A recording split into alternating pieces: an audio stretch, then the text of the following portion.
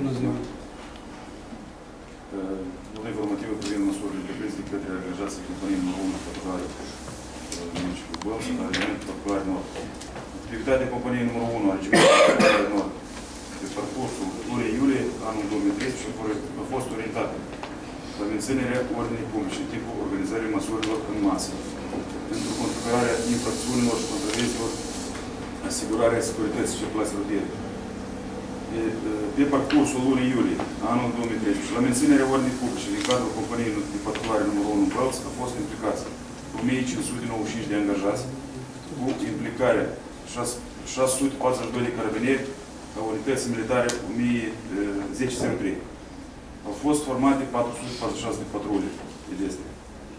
Angajații companiei de patrulare numărul 1, Wells, au participat la menținerea ordinii publice, la 5, la 5 măsuri de în masă ce au avut loc pe trecerii măsurilor, au fost implicați 90 de angajați regimentului patrulare nord, ca rezultat al măsurilor, caravan care nu au avut loc, nu au fost înregistrate. De către angajații companiei de patrulare numărul 1, au fost deservite 442 de solicitări din partea cetățenilor, au fost întocmite 839 de procese verbale contravenționale, din care de, din care de către toate patronare de est au fost întocmite 69 procese verbale pentru asigurarea și menținerea ordinii publice și 770 procese pentru încălcarea regulamentului circulației rutiere. Au fost aplicate amenzi în sumă de 159.000 de Republici Moldova, au fost documentate 26 de cazuri de stare de ebritate la volan. A fost reținută o persoană în stare de ebritate narcotică, care supra să avea substanțe narcotice, ca uh, bănuială marihuana. Însă, în lipsa, din lipsa cantității, a fost documentat doar conform articolului 85 Codului Contravențional al Republicii Moldova.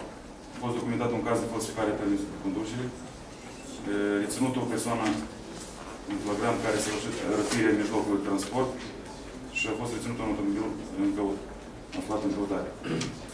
A fost stabilită, reținută o grupă de tineri cu vârstă de aproximativ 720 de ani care săvârșeau în timp, o perioadă îndelungată, furturi din mijloace de transport. În flagrant a fost reținută persoană care săvârșit o infracțiune gravă prevăzută de articolul 155 Cod Penal al Republicii Moldova.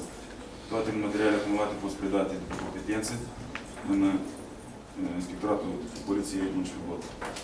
Mulțumesc. Poftim întrebări.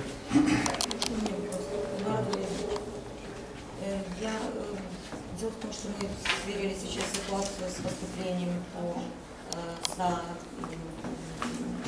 за протоколы, которые вами были составлены. Вы сказали о том, что только за июль месяц вы составили протокол на сумму 159 тысяч лет. Значит, Это на были настоящий- поставлены Да, протокола, да. Не, не, не, не считайте, что Нет, я понимаю, на 159 тысяч лет. Так Вот я хочу значит, вам следующие цифры привести. Мы за прошлый год, за 6 месяцев прошлого года получили по этому доходному источнику 560 тысяч лет.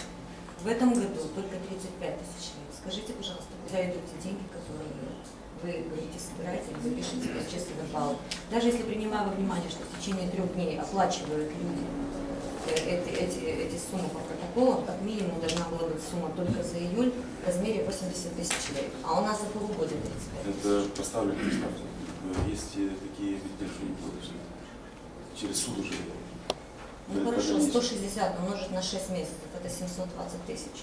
И Это за 35 июль всего поступлений. По- по- Там есть разные счета по разным Эдуард. Валерьевич, давайте мы с вами разберемся по этому вопросу. Почему? Потому что мы выяснили сейчас, что вашими инспекторами дается неправильный расчетный счет. Хорошо, пан Эдуард Валерьевич, если есть этот вопрос, значит, давайте в рабочем порядке примите необходимые меры, чтобы деньги не уходили, скажем, не налево, а не туда, куда надо. Светлана Викторовна, пожалуйста. Хочу попросить обратить внимание сегодня на службу. А, Я не говорю про все другие районы города. Только в центральной части города за последнее время четырежды мы вызывали полицию по поводу э, проживания и устройства в центральной части города бомжей. И причем в, в таких местах уже, ну, которых не видеть невозможно. Это между Дворцом культуры, там, быта, это возле, между, возле театра эм, в центре города, это рядом с фуршетом центральным, э, э, где Прометей расположен. Невозможно не видеть это. Наверное, не стоит ждать того, что кто-то него вызывал. Они должны сами на это внимание. Получишь за активность, Александр. Пожалуйста. Пожалуйста. Владимир Ильич, еще один вопрос такой. Э, Кишинев сделал у нас э, совместно с полицией значит, рейды и показал то, что значит, не уступает дорогу пожарным машинам. И это. я прошу, чтобы инспектора то же самое наш отряд сделал с нашим отрядом выезд по городу, потому что нам не очень тяжело добираться до места пожара. В этом плане, чтобы мы провели рейды то же самое. Совместно под вашим, как его, с вашей разрешением.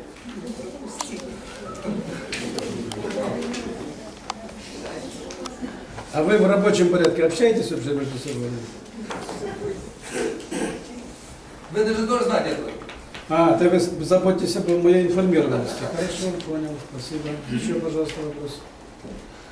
Дар Валерьевич, то же самое, что и для Сергея Михайловича, традиционные вопросы, незаконные. Кстати, вот в свое время проводились рейды по незаконным парковкам, особенно в микрорайонах, там на детских площадках и так далее. Вы планируете что-либо в этом плане, хотя бы с точки зрения того, чтобы как-то навести шорох уже не говоря о необходимости планомерных действий в этом направлении, чтобы мы не имели загруженных детских площадок автомобилями в ночное и вечернее время.